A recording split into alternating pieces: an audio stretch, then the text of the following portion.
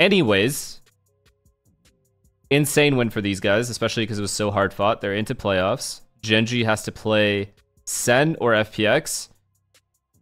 If Sen beats Gen.G, that's probably in your head still not an upset, but that would be crazy.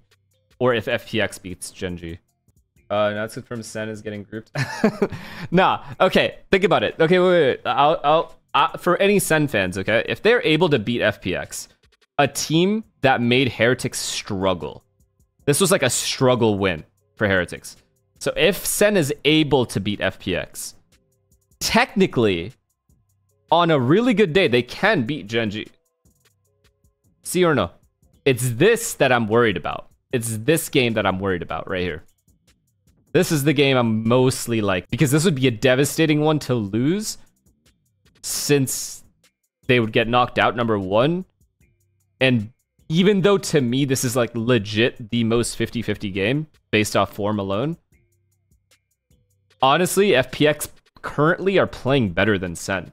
So I think yeah, I don't know. I just don't know.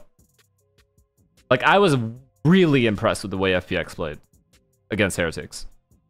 I mean, they've had a couple days to practice, man. They've had like three, four days of practice. We might see a different team. Yo, you guys hate this Sen deadlock. This Sen Sentinel's deadlock, you guys just cannot stand it. Like all of a sudden, if they added a different agent, uh, it, they would all drop fucking 50.